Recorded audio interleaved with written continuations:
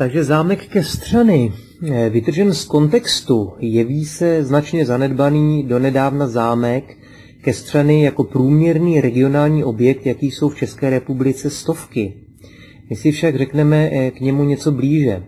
Ústředním rezidenčním objektem Kestřanského velkostatku byla od nepaměti výstavná horní tvrz. Dolní tvrz měla nesrovnatelně menší význam a v dějinách Kestřan se objevuje ještě zmínka i o třetí kestřanské tvrzi, která vznikla snad někdy počátkem 15. století.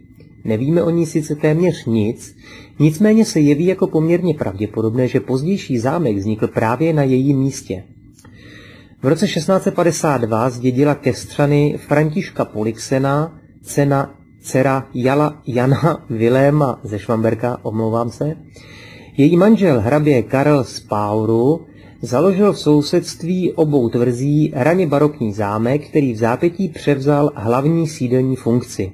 V roce 1678 prodala Františka Polixena Horní tvrz a zámek i s panstvím Alžbětě Zuzaně Bratislavové, od níž roku 1685 koupil Adam Humprecht Furtnát Koc z Dobrše. Ten prodal kestřanský velkostatek roku 1700 knížeti Ferdinandovi for Schwanzenberg, který jej připojil k protivínskému panství. V majetku jeho potomků zůstaly kestřany až do první pozemkové reformy v roce 1924, kdy došlo k jejich znárodnění. Zámek postupně schátral. Za komunistického režimu byl využíván jako byty, sklady obilí a jako dílny.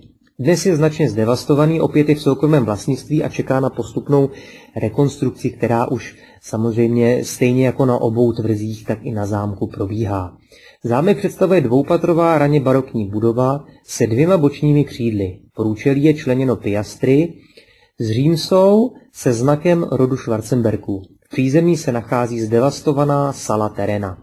Budovy v jižní části areálu představují někdejší hospodářské zázemí zámku. Celý tento objekt, který tvoří ty tři významné historické stavby, doporučuji navštívit, protože je to opravdu na malém kousíčku tři veliké zvláštnosti.